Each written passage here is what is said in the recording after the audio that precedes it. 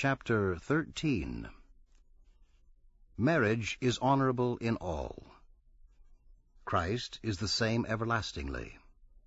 How the saints are to offer acceptable sacrifices. Let brotherly love continue. Be not forgetful to entertain strangers, for thereby some have entertained angels unawares. Remember them that are in bonds, as bound with them, and them which suffer adversity, as being yourselves also in the body. Marriage is honorable in all, and the bed undefiled, but whoremongers and adulterers God will judge. Let your conversation be without covetousness, and be content with such things as ye have, for he hath said, I will never leave thee nor forsake thee. So that we may boldly say, The Lord is my helper, and I will not fear what man shall do unto me. Remember them which have the rule over you, who have spoken unto you the word of God, whose faith follow, considering the end of their conversation. Jesus Christ, the same yesterday and today and forever.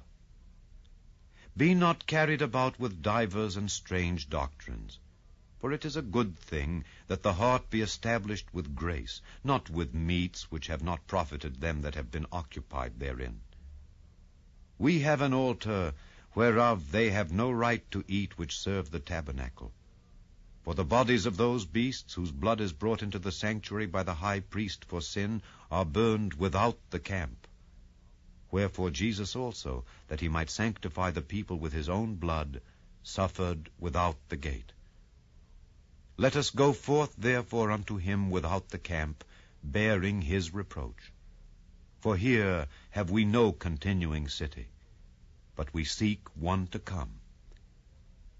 By him therefore let us offer the sacrifice of praise to God continually, that is, the fruit of our lips, giving thanks to his name. But to do good and to communicate, forget not, for with such sacrifices God is well pleased. Obey them that have the rule over you, and submit yourselves. For they watch for your souls, as they that must give account, that they may do it with joy, and not with grief. For that is unprofitable for you. Pray for us, for we trust we have a good conscience, in all things willing to live honestly. But I beseech you the rather to do this, that I may be restored to you the sooner. Now the God of peace that brought again from the dead our Lord Jesus, that great shepherd of the sheep, through the blood of the everlasting covenant, make you perfect in every good work to do his will, working in you that which is well pleasing in his sight through Jesus Christ, to whom be glory forever and ever. Amen. And I beseech you, brethren, suffer the word of exhortation, for I have written a letter unto you in few words. Know ye that our brother Timothy is set at liberty, with whom, if he come shortly, I will see you.